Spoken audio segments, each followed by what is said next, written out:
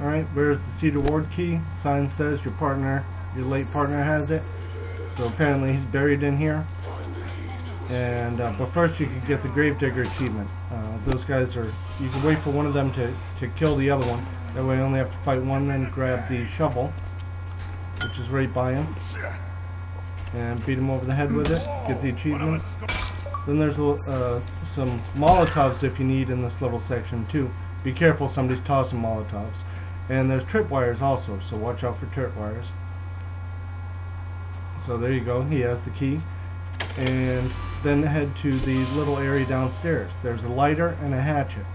So if you grabbed a Molotov, then the lighter will help you light that so you can kill somebody with it. Or the hatchet for that achievement, whatever one you need.